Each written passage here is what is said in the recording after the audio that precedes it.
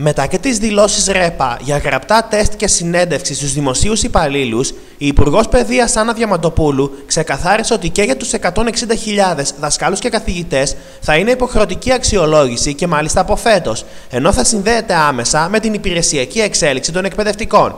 Η αξιολόγηση ως θεσμός επαναφέρεται μετά από περίπου 30 χρόνια, αν και πριν το 1982 η μέθοδος που ακολουθεί το ήταν αρκετά προβληματική. Η ακριβής διαδικασία της αξιολόγησης των εκπαιδευτικών δεν έχει ακόμα διασαφινιστεί. Αν και όπως όλα δείχνουν, η αξιολόγηση θα γίνει με την παρουσία σχολικών συμβούλων χωρίς γραπτές εξετάσεις.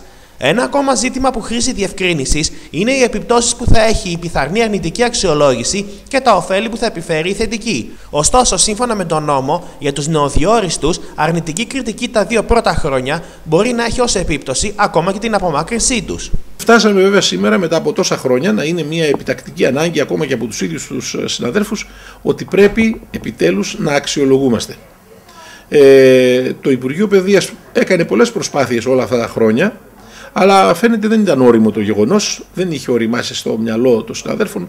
Κάποιοι ακούγανε τη λέξη αξιολόγηση και βγάζανε σπυράκια, θεωρούσαν ότι θα έρθει η δεύτερη παρουσία τέλος πάντων για την εξέλιξή τους εγώ πιστεύω ότι αυτός ο οποίος κάνει καλά τη δουλειά του, αυτός ο οποίος παρακολουθεί τα συμβαίνοντα στην εκπαίδευση, αυτός ο οποίος ενημερώνεται συνέχεια, αυτός ο οποίος τέλος πάντων εργάζεται ευσυνείδητα, δεν έχει να φοβηθεί τίποτε.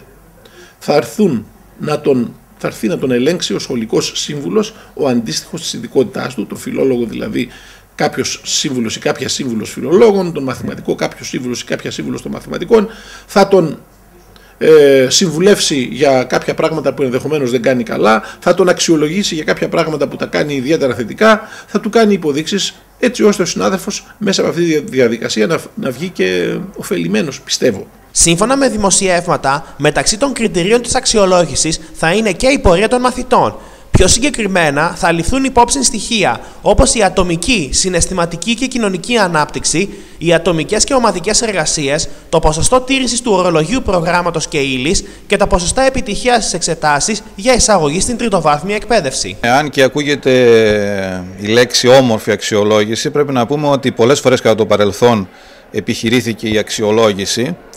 Ε, σε αυτή τη φάση όμως δεν υπάρχει κάτι συγκεκριμένο από το Υπουργείο Παιδείας. Ε, βγήκε η κυρία Υπουργό σε μια συνέντευξη και το ανακοίνωσε αυτό το πράγμα ότι θα αξιολογηθούν οι εκπαιδευτικοί. Ε, ήδη υπάρχει το ενιαίο μισθολόγιο μέσα στο οποίο είναι ενταγμένη η αξιολόγηση.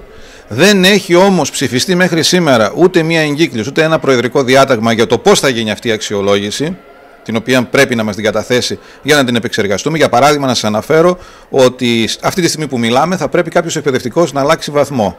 Με τον καινούργιο βαθμό εννοώ. Δηλαδή να πάει από το βαθμό Γ στο Β ή από τον Β στον Α ή ούτω καθεξής. Ε, δεν γνωρίζει κανένας τίποτε. Έπειτα, το περιεχόμενο της αξιολόγησης ποιο θα είναι; Ποιος θα αξιολογεί, με ποια κριτήρια θα αξιολογούμαστε, διότι αυτά τα οποία ακούστηκαν τουλάχιστον δημοσιογραφικά, ότι θα αξιολογείται ένας εκπαιδευτικός, για παράδειγμα, από το ποσοστό επιτυχίας των μαθητών, νομίζω ότι είναι ούτε καν προσυζήτηση, διότι θα φέρω εγώ το αντιπιχείρημα Μπορώ να είμαι εγώ σε ένα σχολείο μιας περιφέρειας που έχει πάρα πολύ καλούς μαθητές και την άλλη χρονιά να βρεθώ σε ένα χωριό αγροτικό όπου πραγματικά το επίπεδο δεν είναι, πολύ χαμηλό. Άρα λοιπόν ε, νομίζω ότι θα πρέπει να σταματήσουμε έτσι να στέλνουμε πυροτεχνήματα με τέτοιου είδους συνεντεύξεις. Θα πρέπει να καταθέσει στο Διοικητικό Συμβούλιο της ΟΛΜΕ η κυρία Υπουργός ό,τι έχει, αν έχει έτοιμο, γιατί εγώ ξέρω ότι δεν υπάρχει έτοιμο ε, σχέδιο αξιολόγησης. Η αξιολόγηση ήδη γίνεται. Παράδειγμα, στα δύο πρώτα χρόνια, ε, ο διευθυντής, εγώ δηλαδή, αξιολογώ και μονιμοποιούνται οι όχι εκπαιδευτικοί. Αυτό ίσως να μην το ξέρει ο περισσότερος κόσμος. Από εκεί και πέρα, ε, δεν είναι ευθύνη των καθηγητών, είναι ευθύνη της πολιτείας, νομίζω και επί υπουργείας και του κυρίου Σουφλιά και του κυρίου Αρσένη, είχαν περάσει, ε, μάλλον προτάθηκαν κάποια νομοσχέδια προς ψήφιση, τα οποία ε, δεν ψηφίστηκαν σε τελική ανάλυση. Άρα λοιπόν, ποιο συμπέρασμα βγαίνει από αυτό το πράγμα, ότι πρέπει, επαναλαμβάνω, με σοβαρότητα, πρώτα απ' όλα πρέπει να σας πω ότι ο καθηγητής δεν φοβάται κανένα είδος αξιολόγηση. Αξιολογούμαστε κάθε μέρα.